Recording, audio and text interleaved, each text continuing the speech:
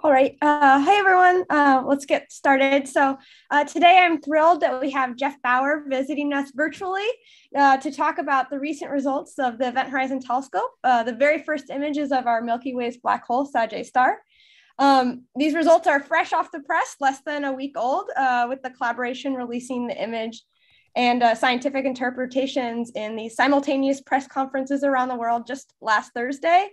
And um, as I'm sure Geoff will mention, uh, getting this result took a lot of time. took over two and a half years of solid focused work on the on the data literally years of tests to get where we felt confident enough to release the results uh, with everyone. And this was the result of, you know, work of many people. Um, but our fearless leader throughout the whole process was really Geoff. You know, Geoff kept us going. It kept our spirits high enough uh, to keep plowing forward. Uh, so yeah, we're all eternally grateful to him for that. Um, and I, I want to uh, introduce Geoff more formally, but before doing that, I want to highlight uh, that this um, picture was the result of over 300 people from around the world, but some of these key contributions came from right here at Caltech. Um, so in particular, I wanna highlight three Caltechers who did incredible work uh, that the result wouldn't have been possible without. Um, first is He Sun. Uh, He um, was a postdoc in CMS who only left campus back at the end of March, and he's now starting a faculty position at Peking. Um, and He Sun worked on both imaging and modeling, but primarily focused on geometric modeling of the data. So once we felt uh, confident that this ring structure was likely, he used a method that he developed while here at Caltech uh, that we call deep probabilistic inference or DPI uh, to analyze the posterior distribution of different features uh, of that crescent shape. Uh, for instance, like things like the ring's diameter, the position angle, the width, uh, and He also used this method to analyze minute to minute variations of star to see if we could pull out any kind of trends on minute time scales. Um, second, who I want to highlight is Aviad Levis. Aviad is currently a postdoc in CMS working on physics-based inverse imaging problems. And Aviad helped out with many different parts of the imaging pipeline um, that was used to reconstruct the Sagittarius star image. But his primary role in the project was being the sub-team coordinator of the synthetic data team. So his role on the team was really to design a set of synthetic data that would allow us to reliably train and test our imaging methods and make sure that we weren't just re reconstructing rings by accident. Um, and one particular improvement that he added was uh, the dynamics model that allowed us to mimic variability on timescales, uh, the variability kind of that we observe in Sagittarius star in our own synthetic data we tested with. Um, and then last but not least, um, Junhan Kim. Junhan is currently a postdoc in astronomy here at Caltech. And during his PhD and into his postdoc, Junhan uh, helped to commission a number of telescopes used uh, by the EHT in particular, Junhan made countless trips to the South Pole to help get it ready to observe the Sagittarius star data. And as I'm sure uh, many of you know, the South Pole telescope was incredibly important in probing the high spatial frequencies we need to recover uh, the image. I also want to note that these the images that the EHT collaboration has released of M87 star and Sagittarius star are, you know, not the end, but really the beginning. And to that end, uh, Caltech is also helping with the future of the EHT as well. In particular, I want to highlight Vikram Ravi and Nitika Yadlapalli. So Vikram is uh, leading the charge on adding the 10 meter telescope at OVRO, uh, you see here on the right to the EHT array. And this will allow us to fill in some very short, uh, important short baselines that will help us get higher dynamic range images and also allow us to connect the ring to the jet structure in the future. Um, and so hopefully the OVRO telescope will begin to observe with the EHT in 2024. Um, and then Nitika, who is a graduate student, is also helping to commission the telescope. But in addition to that, she's um, been getting into the imaging side of the project, helping out with imaging 2018 data we've collected. And she's been leading the charge on getting one of the imaging pipelines up and running and uh, really excited to continue working with her on that. So huge thank you to our Caltech team, uh, both who worked on the Sagittarius star data and also the, for the future of the telescope. Um, but without much more ado, I'd like to introduce Geoff Bower. Um, Geoff is the project scientist for the Event Horizon Telescope collaboration, or as I said, fearless leader. Um, he's also the chief scientist for Hawaii operations with the Academia um, Sinica Institute of Astronomy and Astrophysics and affiliate graduate faculty with the University of Hawaii, um, Manoa Physics and Astronomy. And Geoff is a graduate of Princeton uh, and Berkeley, and he also held research and teaching positions at Berkeley NRAO and the Max Planck Institute for Radio Astronomy. Um, his interests are in black holes, neutron stars, uh, the dynamic radio sky, and radio astronomy instrumentation. And so, with that, we're very excited to have you here, Geoff. Um, please take it away. Okay, great. Thank you. Um, let me get the screen sharing going here. Okay, does that look good? Looks great. Okay, thank you. Uh, thanks so much for the great introduction, Katie, and uh, for the uh, the invitation to uh, uh, to uh, give this talk. I'm giving it remotely, as as you know, of course, while I'm here at the Black Hole Institute this week in Cambridge. Um, and Katie's right to to emphasize the um, the contributions of of current Caltechers. Uh, uh, uh, sprinkled throughout this talk, I have a, a, a few uh, uh, uh, recognitions of, of past contributions to, to this work from, from Caltechers that really spanning decades, because this, this truly is a, a result that um, that that has been in the making for really 50 years or almost 50 years uh, since the discovery uh, of Sag A Star uh, in 1974. So uh, you've already seen the main result. Uh, I, am sure uh, it's pretty much unavoidable. but you know, on the left you see the the Event Horizon Telescope image of, uh, of M87. And on the right, you see the, uh, the EHT image um, of Sag A Star, which we released last week. And uh, there are uh, six collaboration papers uh, in APJ letters that uh, we hope you'll take the time to look at. They really represent that work of hundreds of, of people over many years. Uh, so here's M87. Uh, this should be fairly familiar to, to most of you at this point. Uh, the first image of a black hole. Uh, and of course, the really salient feature here is the diameter. It's a ring, it's with a diameter of 42 micro arc seconds. And that corresponds to uh, a black hole mass of 6.5 billion solar masses with about a 10% uncertainty uh, on that mass. Now, Sag A Star is uh, uh, uh slightly larger, 52 micro arc seconds in diameter, so about 20 micro arc seconds in diameter, but effectively uh, uh, very close in, in diameter. Um, but it is almost a factor of 1600 less in mass and around 4 million solar masses that um, uh, as as uh, contained within this ring and as as shown here.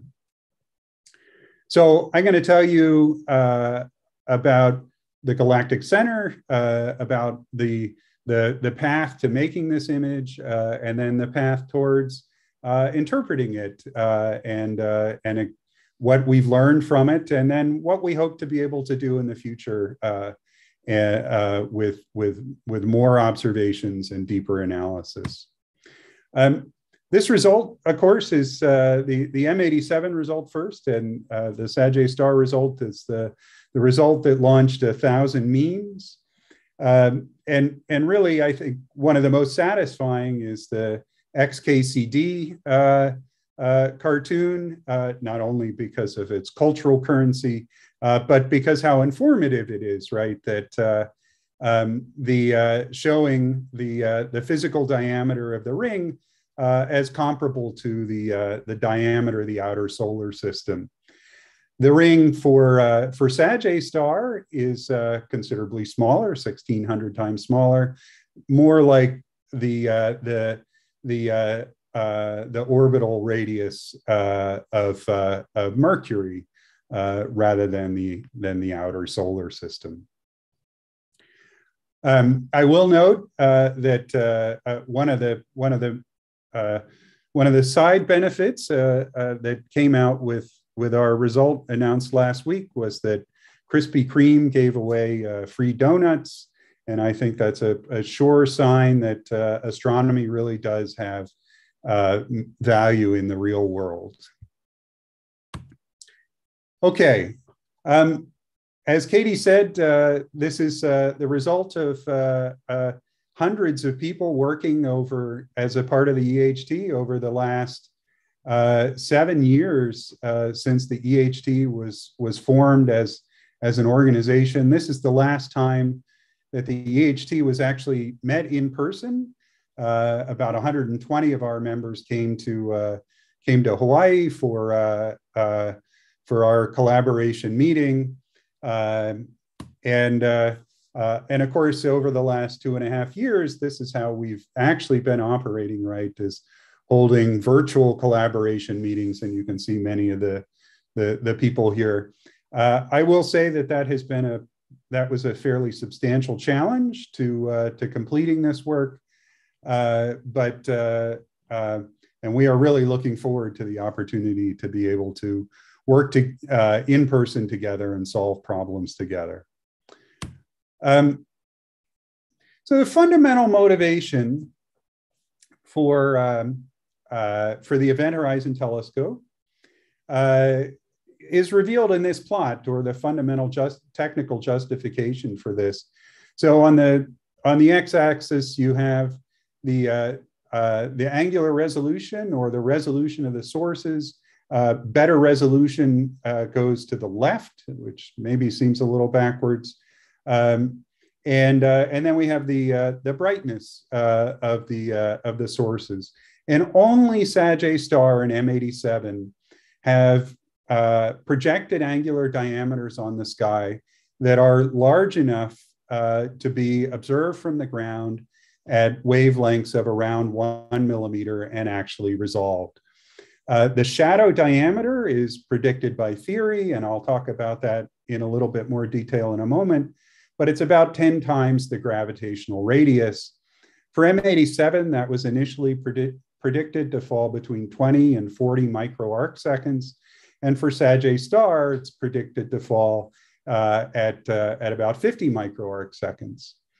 In addition to uh, being resolvable, these two sources uh, are also uh, two of the brightest uh, compact radio sources on the sky at these wavelengths, which, which makes them feasible for this very challenging set of observations. There are a handful of other targets that we look at. We look at blazars, and we're starting to look at uh, some other low luminosity AGN, but none of the other sources uh, are within the range of, uh, of having their shadow or their event horizon resolved by these observations. Ah, so I was informed today uh, uh, by Todd Lauer. Todd said, you really have to tell the people at, or remind everyone at Caltech about uh, the, the role that Wal Sargent played uh, in, in the late 70s with the first mass measurement of, of M87 from, um, from stellar spectroscopy. And so here's, here's Wal in front of in front of Palomar. And of course, that's part of what uh, uh, a long history of making these, uh, these measurements uh, of, of black hole masses using stellar techniques and gas dynamic techniques uh, that's been uh, quite important for feeding into to this work. So the, the shadow feature uh, was uh, for Sag star was predicted more than two decades ago in this paper by Falcke, Melia, and Agol. Uh, and they took a very simple model uh, of uh, just a ball of uh, an optically thin emitting gas surrounding the black hole and showed under a variety of, uh, uh, uh, of different types of calculations and circumstances that you that that the just using ray tracing of the, the light originating close to the black hole that you produce this this this shadow feature uh, and that has held up uh, over time. Uh, and I'll show in a moment some the, the, the very advanced simulations of this. But that calculation has its roots uh, going back to Bardeen, uh, who calculated the, the, uh, the shadow diameter, which is essentially a, an, an impact parameter for, uh, for photons coming into the, uh, uh, the photon ring, uh, the ring at which photons orbit the black hole. Um, and this has this characteristic value uh, of around 10 gravitational uh, radii. Um, there was uh, there was a, a, an early simulation of, a, of an image that Luminet did in the late 70s that's shown here on the right. I love to show this because this was a numerical simulation done using the using computers, but the, the, the visualization here is a drawing by hand made based on the that simulation. Uh, and you can see, of course, the resemblance to uh, uh, to what uh, uh, was we've observed and what was predicted later on. Of course, simulations have grown much more sophisticated in, in the ensuing decades, and this is a great example from C.K. Chan at the University of Arizona, showing uh, accretion, uh, jet launching, uh, and you can see that there is a persistent feature of the uh, of the shadow of the, the black hole or the, the photon ring uh, that's, uh, that's present uh, in all of these cases uh, from radio, millimeter, uh, infrared, and, and X-ray. What's really important is, that, is that it's optically thin as, you, as you look towards um, the, the, the black hole. So the predictions have been there. Um, actually achieving this, however, has been a major experimental uh, effort. Um, we need to achieve an angular resolution with a wave with a resolution of about 20 micro arc seconds in order to resolve these features. So we need a global millimeter VLBI array to do this um, with a one millimeter uh, wavelength and uh, Earth diameter baseline, you get a 20 micro arc second resolution. But there's no existing array that does this. So we had to build our own network out of the existing millimeter, submillimeter facilities in order to, uh, uh in order to uh, be able to, uh, to carry this out. Um, each of those facilities is in one of the most unique places uh, on Earth because uh, millimeter wavelength radiation, of course, is uh, very heavily absorbed uh, uh, by water vapor in the atmosphere. Uh, and so we use a narrow window in that at 230 gigahertz. Where the absorption is less, but but again, you need to be above most of the water vapor, and then of course, water vapor in the atmosphere as it moves uh, across the, uh, the antenna beam uh, introduces path length delays, uh, which, uh, which corrupt the coherence of the interferometer. And those, the time scales for those changes are a few seconds to tens of seconds. So that means that we have to be able to, uh, to detect our source on any given baseline uh, on that coherence time scale, a few seconds, maybe tens of seconds. Um, and so there, we're, we're really very constrained to only the brightest sources that, that we can observe. Uh, just as an example of one of the great sites for carrying this out is the summit of Mauna Kea. Uh, you see the submillimeter array as, uh, as one of our facilities there. Uh, we also have the JCMT uh, on, uh, on Mauna Kea as well. Now, so to overcome that sensitivity challenge due to the coherence limit, um, there are a couple of major steps that, uh, that we have to take or that we take. Uh, and uh, the, one of the really big steps and innovations that the, that the collaboration led uh, or played a major role in was going to very high bandwidth uh, recording. So recording of VLBI data has followed something like Moore's law or a version of Moore's law beginning, uh, you know, with its humble beginnings at less than a megabit per second in the in the uh, uh, in the late 1960s when recording began on reel-to-reel systems. Uh, when I first started uh, doing BI in the in the mid 1990s, we were working at uh, 100 or maybe 200 megabits per second.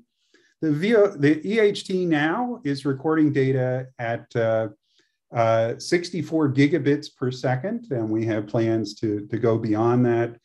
Uh, we record on these giant banks of, uh, uh, uh, of, of, disks and write to a large number of disks simultaneously in order to get this very high data rate.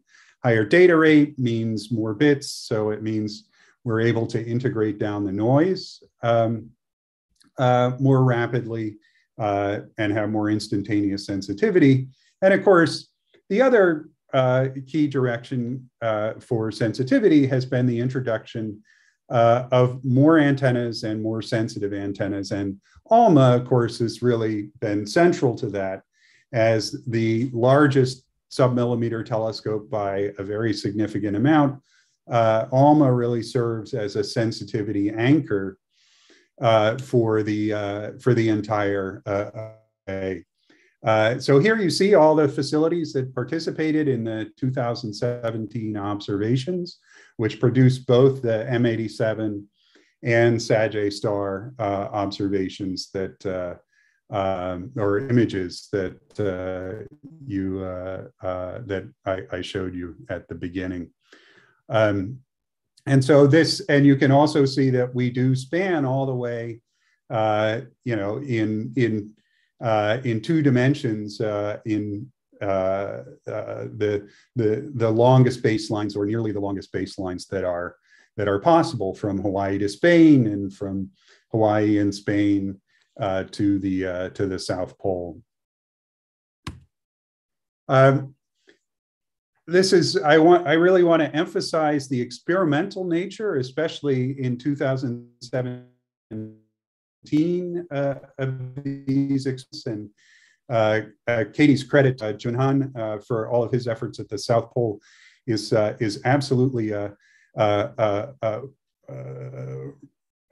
well well well chosen because of the enormous effort that has to has to go in at each each site to have a team of experts on hand for all the different subsystems and ex, uh, axes uh, uh of carrying out these uh, these observations. We're getting much better at this, and we're training local observatory staff so that uh, in the future we or well currently it requires far uh, local expertise than we previously had. And we hope for that to continue to grow in the future to make these observations more turnkey. Uh, but certainly for, uh, for these observations in 2017 required a large number of people on site uh, dedicated to carrying these out. Okay, so let me turn to the Galactic Center uh, at this point um, and uh, uh, and talk to you uh, about what's special about the Galactic Center, what's special about SAGE-STAR, and what we've learned from it. So, um, the Galactic Center, of course, is the kitchen sink of the of the galaxy. Absolutely every phenomenon that you can think of takes place there. SAGE-STAR sits inside the the Milky Way uh, cluster of um, uh, of stars. Uh, and uh, of course, the study of, uh, of those stars in the central arc second uh, led to the Nobel Prize for Reinhard Genzel and Andrea Ghez a couple years ago.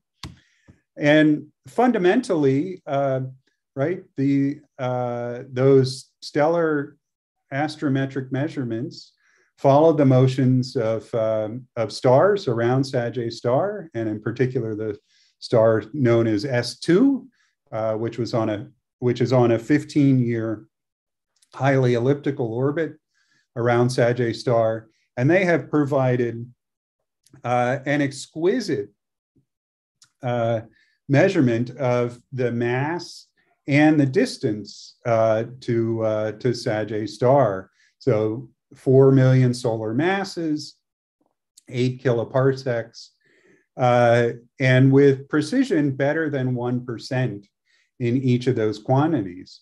And of course, for predicting the, uh, the diameter of, uh, uh of the, uh, the shadow feature for Sag star, the key uh, parameter is mass over distance. Uh, and uh, we plot that for both the, the VLT and Keck results and you can see that they are very precise, but they there are systematic differences between these two measurements.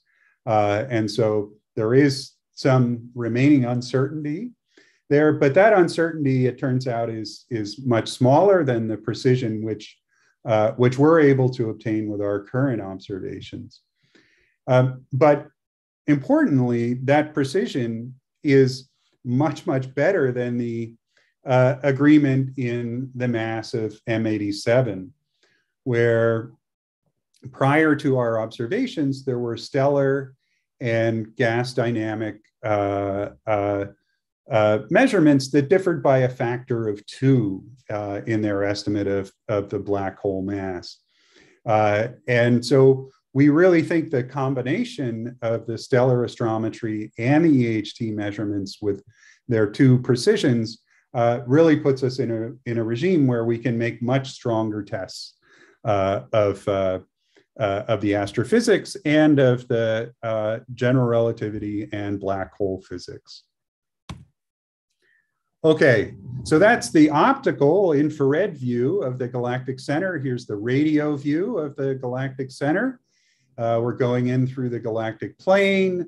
We're going down. Here's the VLA image showing uh, Sag A East, a massive supernova explosion, young supernova explosion. That compact dot that you see in there, that is Sag A star buried uh, uh, next to the so-called mini spiral, which is gas flowing in towards towards Sag A star. Uh, and of course, there's that that image. Let me play that again, uh, just because I I like for people to be able to see all of the kind of complex uh, structure that exists um, in that region uh, and uh, some of the, uh, you know, that Sag A star is not dominant uh, in uh, in this view, right? It's you one has to one has to search quite hard in order to find it in all of this.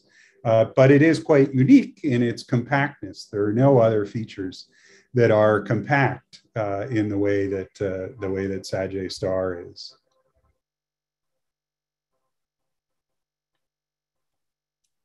Ah, so okay, so here's my next bit of, uh, of Caltech contributions.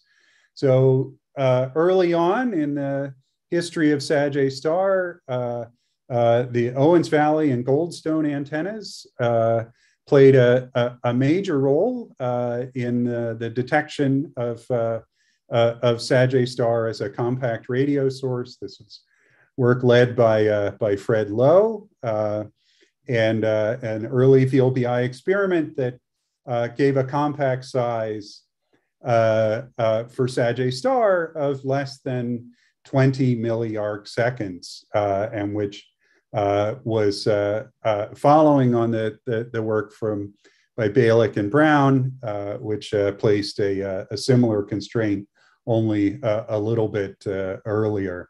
And you can see that in addition, there are efforts on, on M87 and Centaurus A and Cygnus A. Centaurus A and M87, of course, being other EHT targets. And here's the other, uh, uh, another major contribution from Caltech. Uh, so this is the beginning of uh, millimeter VLBI, kind of proto VL, proto EHT observations that were carried out in the late 2000s. And uh, the CARMA array uh, in in the in the Owens Valley or above the Owens Valley uh, was one of three stations that contributed to, uh, to these measurements, which set uh, the uh, a size constraint of a few Schwarzschild radii uh, on the uh, on the diameter of uh, of, of Sag star. Um, now, so for those of you who are not in, interferometrists, um, what we're plotting here on the left is uh, the visibility amplitude as a function of baseline length. The visibilities uh, are the uh, are the Fourier transform of the sky brightness distribution, um, and so a a point source. The the for a point source, the visibility amplitudes are flat with baseline length. It's the Fourier transform of a delta function. Here we modeled uh, the visibilities as a uh, as a Gaussian source on the sky, which Fourier transform of a Gaussian is a Gaussian, uh, and uh, and that's at the characteristic size. You can the dashed curve uh, was a uh, was a ring model that uh, that that we applied, but at the time certainly did not argue that that was that was actually evidence for the existence of, of, of a ring in in in those data. So this data very far from uh, being able to produce, something that, that looks like an image. Up until uh, last week, the, the state of the art for imaging Sag star um, was at slightly longer wavelengths, at a wavelength of three millimeters. This is a result from the VLBA uh, plus ALMA and the GBT at three millimeters. And at three millimeters, Sag star is a fuzzy blob.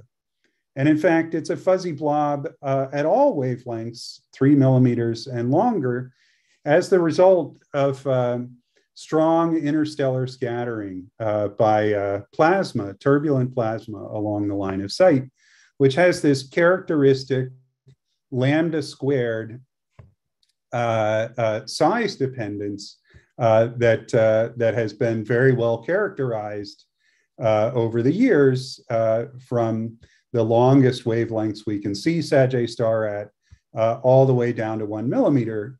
And you can see where that, that, that at one millimeter and three millimeter, and even all the way out to one centimeter, uh, we start to see divergence from this lambda squared law. That's our, our indication that we're detecting intrinsic structure here. Uh, but we're not able to see the shadow. We're not able to, to look for jets in a, in, a, in a strong way in this data. Um, and so one millimeter is a really motivating wavelength to work at because the scattering becomes significantly reduced. Um, oh, so this is just a diagram illustrating that concept. Uh, it's a it's a fairly straight uh, uh, of how the, the, the, the scattering works. Uh, and it affects both pulsars uh, and introduces time delays or time broadening for pulsar signals and introduces temporal or angular broadening uh, for, uh, for steady sources like, uh, like Sag star. So this is the, the UV coverage, the visibility plane coverage uh, for these observations. Uh, and you can see uh, that although we still have a relatively small number of antennas, we're actually filling in this space reasonably well. and this UV coverage really um, you know, gives us the confidence that that we are able to uh, uh, to uh, make images in this data. So this is the visible, and this is the corresponding visibility amplitude plot uh, for Sag star. Much richer, of course, than what we had 15 years ago. Um, and the uh, there are a few really salient features here to see. We see the the initial uh, uh, de- decrease, we see the presence of uh, two minima uh, or nulls uh, in the um, in the visibility amplitude, um, and this uh, this gray dashed line is a, a, a, a simple model that we that is not fit to this data, but of a of a a, a ring with uh, a, a, certain thickness and a diameter of 54 micro arc seconds, which just to eye fits the, the overall profile uh, uh, of this data, but you can see it doesn't fit it exactly. And in particular, uh, looking at, at, at this the location of the first null, you can see that some baselines, so on cert, some orientations, uh, we don't get a null in that direction, and in, in others we do. In M87, we saw something similar, which we took as the uh, clear evidence for asymmetry. Situation with Sagittarius star is, is a little bit more complex, and I'll go into that uh, at, at this point. So we talked about scattering and how that uh, affects uh, our data. It turns out that we, we, we put a lot of care into testing the impact of scattering on our data, and it turns out not to have played a very significant limiting role in the measurements. On the other hand, temporal variation is a really critical uh, uh, issue for us to resolve. During the course of our observations, the flux density of Sagittarius star uh, oscillated significantly, about 10% uh, variation. Between two consecutive days, we can see that the closure phases have changed uh, significantly on the same triangle. So we have a very good sense that, uh, um, that there are intrinsic structural changes happening on that, on that time scale. Um, and then, uh, oh, well, I'll just show you the little movie here of Sagittarius star flickering uh, uh, on, uh, on the April 7th. Um, we also Uh, uh, saw on April 11th data which we have not yet uh, published. We saw actually quite significant, much more significant change in the um, in the flux density following an X-ray flare. So stay tuned. That's data that we're working on, and we hope to uh, to have out to the community soon.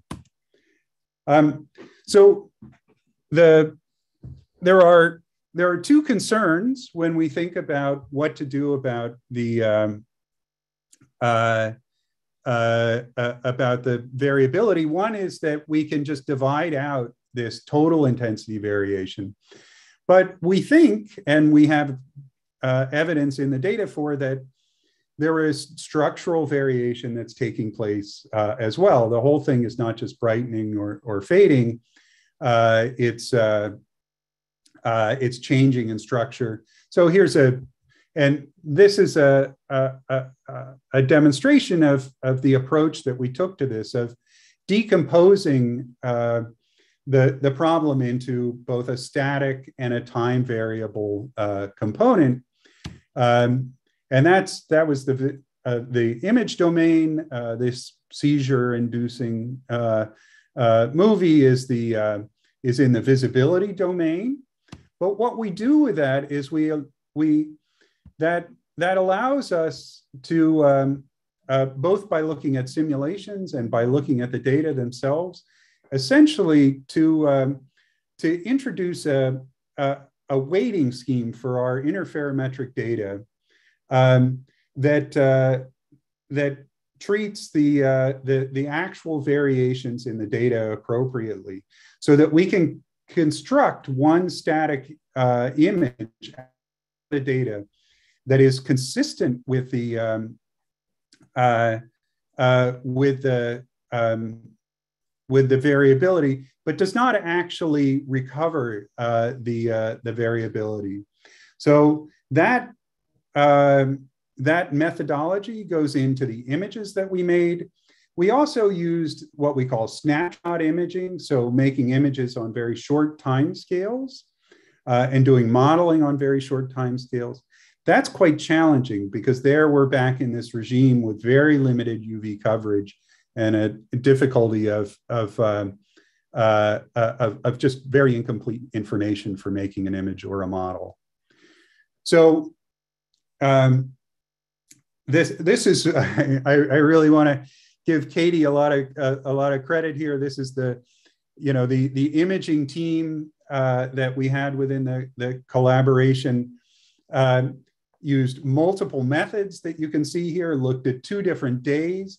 Looked at the effect of uh, with and without scattering, and used two different uh, uh, uh, fringe fitting techniques uh, or pipelines. Uh, and you can see that consistently across all these methods, that we uh, obtain uh, ring images uh, that uh, of, a, of a comparable diameter.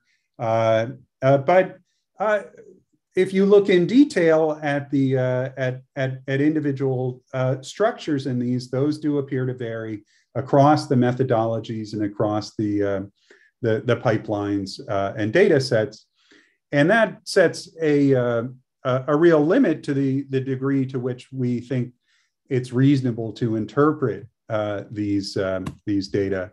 And specifically, we really stay away from saying there's one particular image that uh, um, that uh, that that is the, the, the the true image in the way that we did for M87 uh, and so we use a number of algorithms for clustering the, the ensemble of images that we generate. And uh, you can see that nearly all of the images that are generated fall into ring-like images, but with different intrinsic features. But there are uh, a few percent uh, that fall into uh, non-ring regimes, still with this kind of characteristic scale of, uh, you know, 50 micro arc seconds um, embedded in them, but nevertheless non-ring like. Um, so that is a minor caveat, I think, on the, the overall result. Um, we also do modeling. So imaging, of course, is put all the data into the image domain, and we do it in, in, in a number of different ways. We also do modeling where we uh, assume geometric models, rings, crescents, uh, and, uh, and, and fit data that way. Uh, we also do model the data without, um, with non-ring like models. Uh, and you can see uh, in this law, in this likelihood plot, uh, all the symbols with O's are ring-like models, uh, and all the ones with X's are non-ring-like models. All the ring-like, uh, the best fitting models are ring-like. The the non-ring-like models are um, uh, are, are, are not good fits. Um, so we get about a, we get this final measurement 52 plus or minus two micro arc seconds. Uh, so that's a few percent uh, uncertainty on the ring diameter that we, that we measure. but then we have to, we have to, to translate that ring diameter into a statement about the shadow diameter, which is a uh, which is connected directly to the uh, uh, to GM uh, over C, DC squared. Uh, we have to calibrate these measurements against the astrophysics that goes into this, right? Um, there's a whole suite of of astrophysical models, which I'll show you more detail on, and those set the dominant degree of uncertainty on the mass uh, that we can associate with, with this ring measurement. So we estimate a mass with a, about 15 to 25% uh, uncertainty uh, on the mass. And that's completely dominated uh, by our overall lack of constraint uh, on those, uh, the, the, the astrophysical models uh, of, uh, uh, of the gas. Now, I want to, so at this point, I'm going to turn towards the interpretation of those models, but I want to give you a sense of the whole range of models that we explored. This is really one of the most complete sets of, um, uh, uh, uh of, of GRMHD models that have been done for systems of this kind. You can see we explored inclination angles, spin uh, in uh, uh, different spin orientations. Um, uh, the R high parameter is a measure of the um, ratio of the electron to proton temperature. Um, and then MAD and SANE uh, are these uh, different, uh, well, MAD is magnetically arrested uh, accretion, and SANE is the um, standard and normal. And these essentially account for different uh, magnetic field strengths. And then these are all time domain models. So we're exploring them over different times.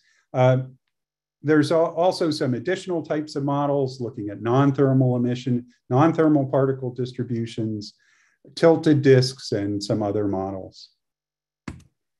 Um, and so then, in order to try to constrain the astrophysics, uh, we took a number of constraints and, uh, and then cut away the, the various possible uh, models that, uh, that could exist.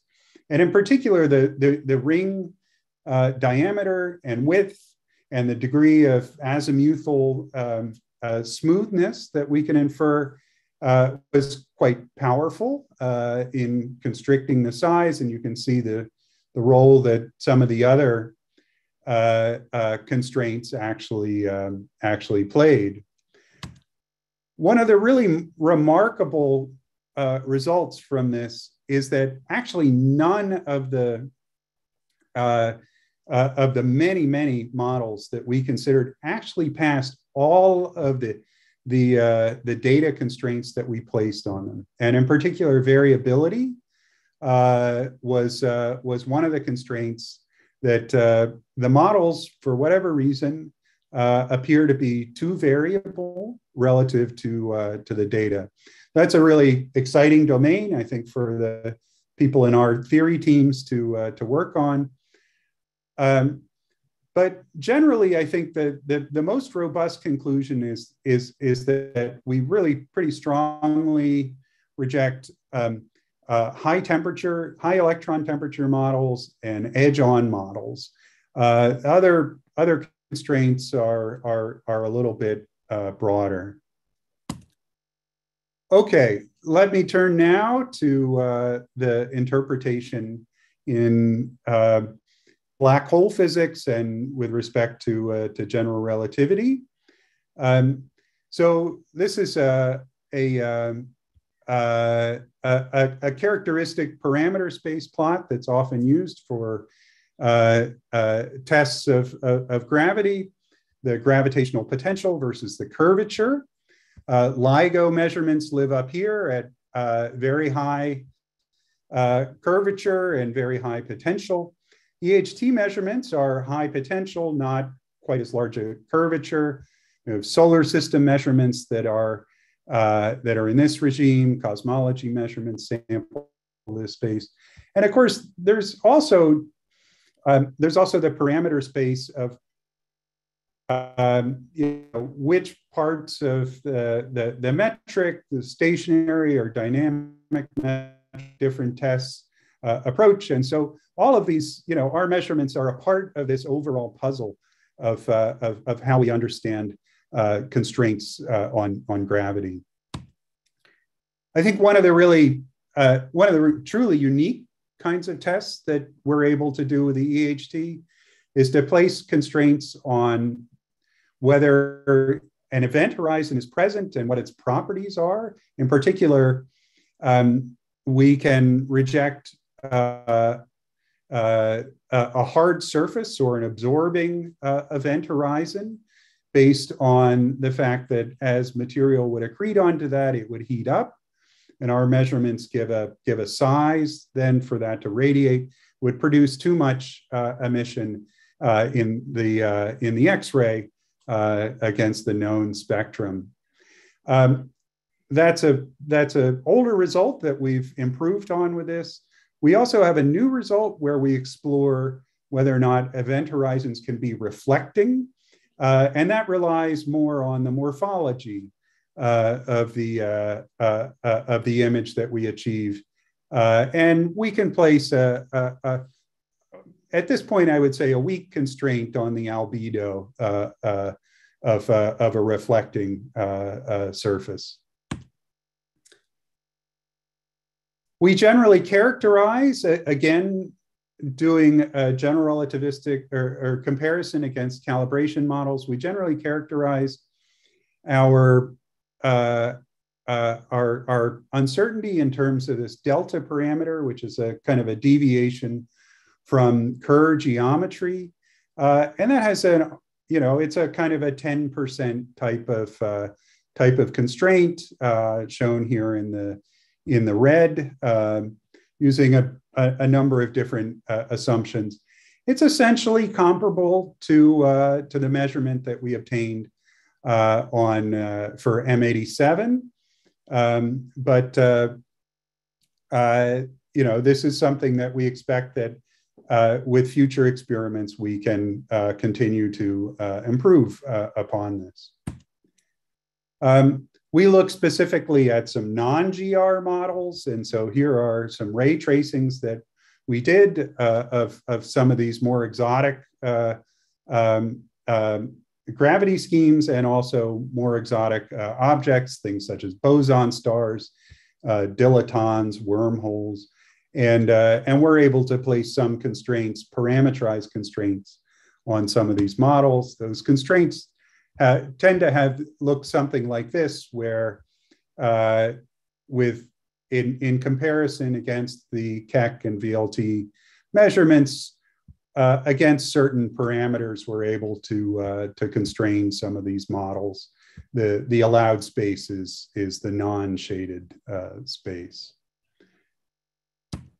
Okay, uh, just a couple more minutes here to say, talk a bit about what's next for the EHT.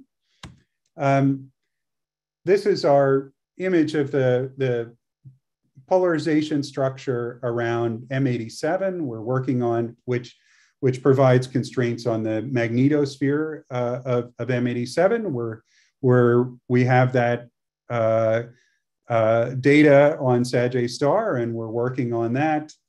Um, the, the long time scale behavior of these systems is a very interesting probe. First off, just of a demonstration that that that these measurements are uh, are not a are not a fluke uh, of, of some you know uh, unusual geometry.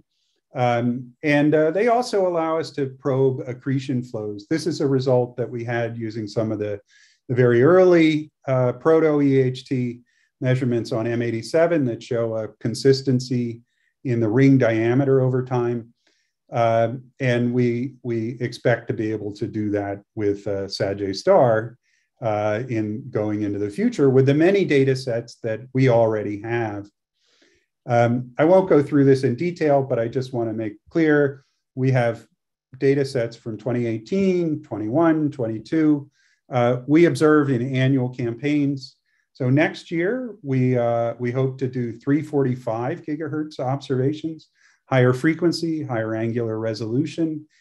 And then beyond that, we're looking at making movies um, of M87 doing longer timescale campaigns over hundreds of days or 100 days and watching uh, that system evolve.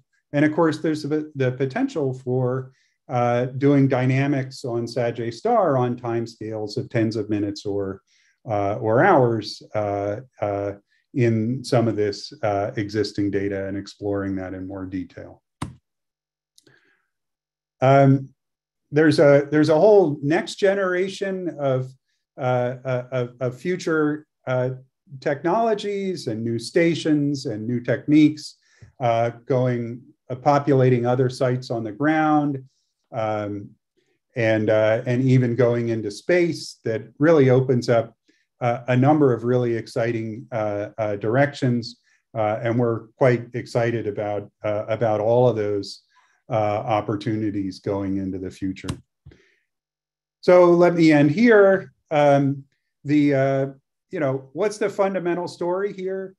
Black holes power active galactic nuclei. I think that's a really fundamental result from these, uh, from the results on M87 and Sag star. Sitting at the base of these giant jets and sitting at uh, uh, in the quiescent nuclei of, uh, of, the, of, of, an ordinary galaxy, there is a black hole. Um, we're able to use our observations to test general relativity and black hole physics uh, over three orders of magnitude in black hole mass. And we're also able to make comparisons against the LIGO tests that are eight orders of magnitude different uh, in, in mass. And we're making precision measurements of accretion in jet physics. There's a huge amount to do in the future. Uh, we're really just uh, beginning to, to get started on this. Um, and so stay tuned. We have lots of great results uh, to come. So with that, I'll, I'll end and uh, I'll take some questions. Uh, yeah, thanks so much, uh, Geoff, for the really nice talk. Uh, we can take a few questions now. So if you have a question, raise your hand and I can call on you. Uh, Catherine. I wondered, are the three bright, the three brightest parts of the ring, three separate parts of the accretion disk, or can it be one bright structure that's lensed? So don't believe those knots. Uh, they are, um, uh, we make no claims about uh, about the reality uh, of, uh, of those of those features uh, in the ring. So they they really are, we believe, artifacts of the of the imaging that and and we we see those you know we do extensive synthetic tests and we see these kinds of features appearing in the data um, we have less confidence in the in the ring structure or in the in the, the details of the ring structure than M87 as a result of the uh, uh, uh, of, of the of the rapid dynamics uh, of uh, uh, of Sag star, um, and so yeah, there uh you know we we really think that you know there are an ensemble of images that are a good representation of this data set, and this is one of them. It's not unique. Thanks.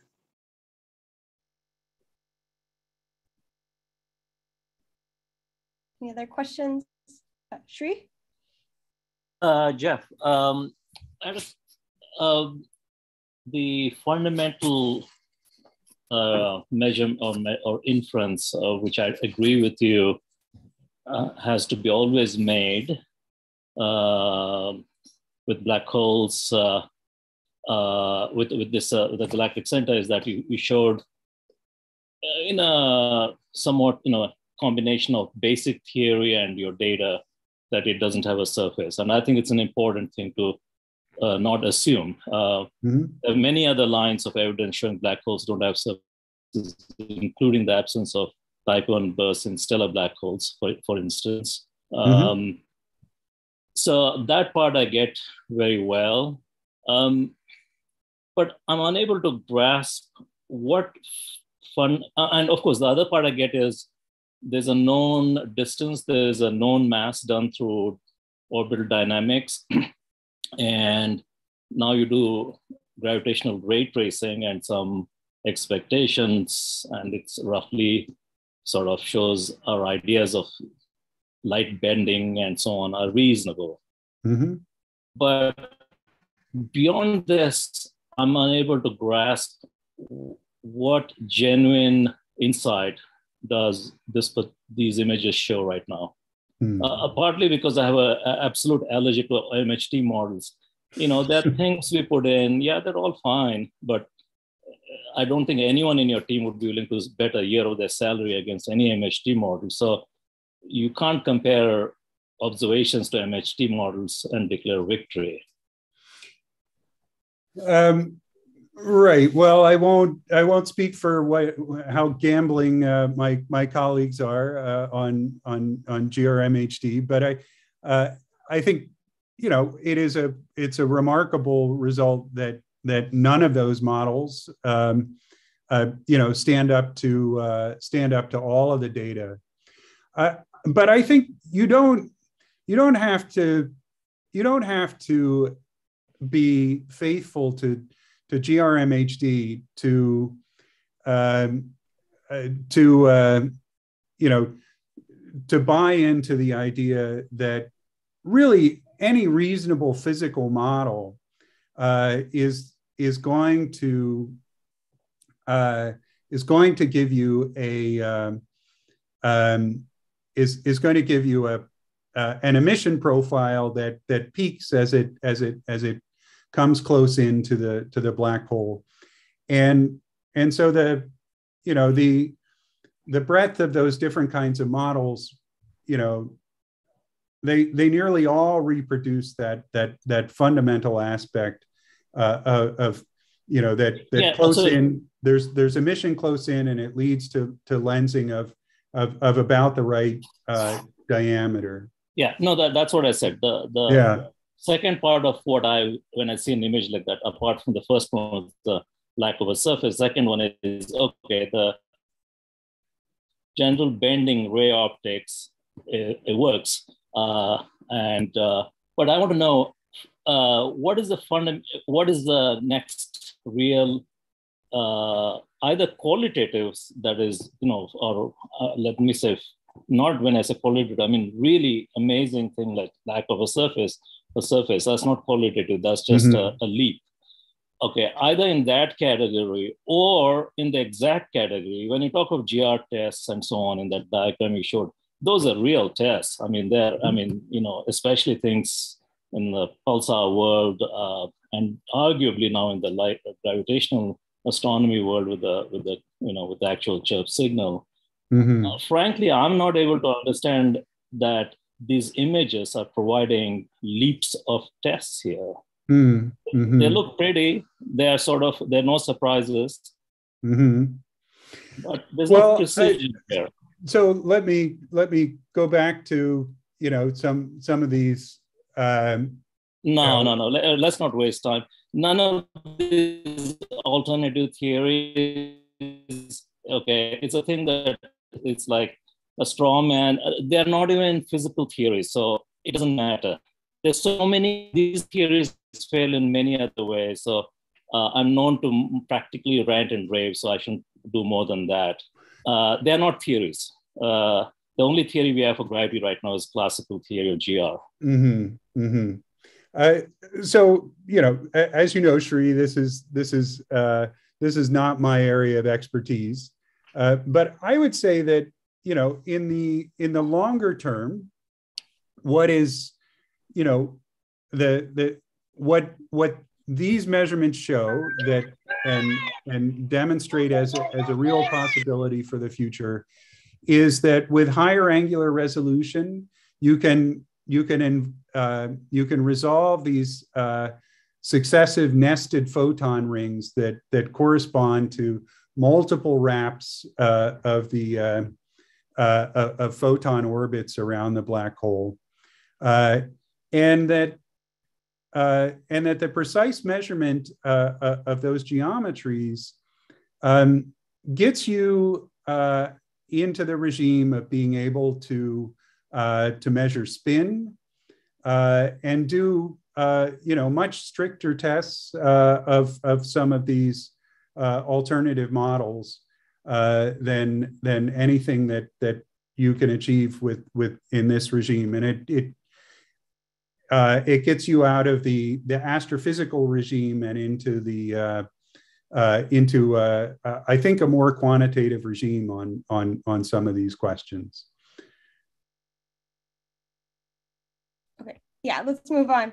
Although I, will I'll make a comment that just because something's not surprising doesn't mean it's not exciting. I mean, uh, it's my opinion. I think yeah. that, uh, yeah, anyway, uh, Cameron. Um, great presentation and congratulations on the result. I just had a question about some of the movies that you were showing earlier, and forgive me if you already answered this during the presentation, but the variability and the the features that are moving in those movies that are generated by the the models. Mm-hmm. Um, are the timescales of those movies? Uh, what are the timescales of the movies, and and is the the variability just due to the the crossing time of the photons around the the black hole um, itself and the ISCO, or is it something to do with the accretion disk rotation rate or something like that? Uh, so yeah, good good question. So the um, the uh, we run uh, these simulations typically out to 10,000 times the, uh, uh, the, the, the, light crossing time, and in some cases out to 30,000. And I believe in, in, in, at least one set of models, we ran out to um, 100,000 times that time. Um, uh, that light crossing time for Sagittarius star is tens of seconds. Uh, and so this is, you know, going out in to regimes of, uh, uh, uh, I guess, um, uh, days to, to weeks. Um, and uh, the variability that you're seeing uh, is a result of um, uh, uh, is is a result of turbulence uh, in the uh, uh, in these structures, magneto-rotational instability, and um, you know the, the the accretion flow from an outer boundary into into this regime is um, you know is a is is is turbulent, um, and and there are there are occasionally um, magnetic flux eruptions that, uh, that occur in these systems, which can produce uh, really dramatic uh, variations. Uh, so there's a kind of a wide range of, of different phenomena that are um, uh, that, that, that go into that total variability. Um, and lensing plays a role in it, uh, that there are some correlations one expects to, to see uh, with with some of the light uh, uh being uh, being lensed. Uh, so a, a, wide variety of, of, of different mechanisms at play here. Awesome. Thank you very much. Yeah. Kunal? Hello. Thanks, Geoff, for the talk. Hi, Kunal. I have a, I have a quick question. Uh, do any of the EHT observations so far or those expected in the near future would they be sensitive to uh, place any meaningful constraints on any of the outflows or like a low power jet, for example, that may exist within the system?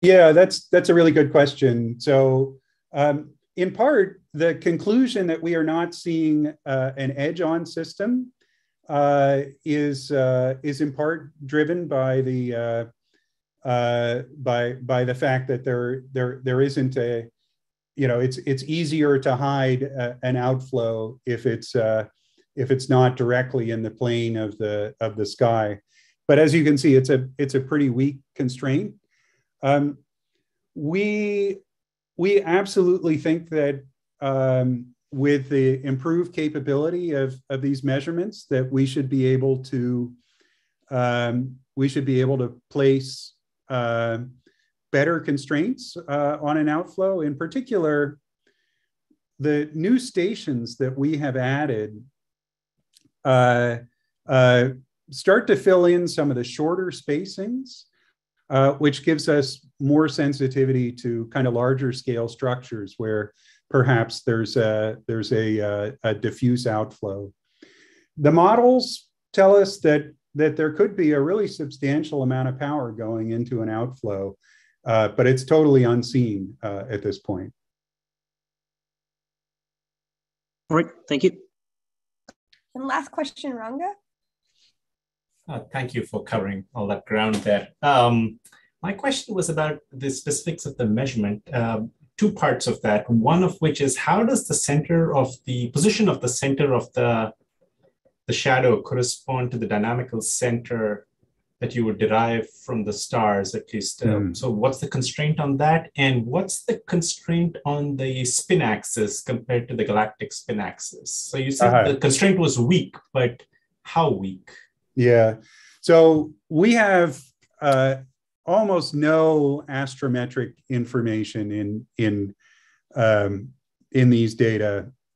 Uh, the uh, um, our our calibration technique uh, essentially centroids uh, uh, everything at a at an arbitrary position, and so I we, in terms of making a kind of a precision comparison against the uh, the, the infrared stellar uh, components, we um, um, we aren't able to we aren't able to do anything in a that that's that's very powerful.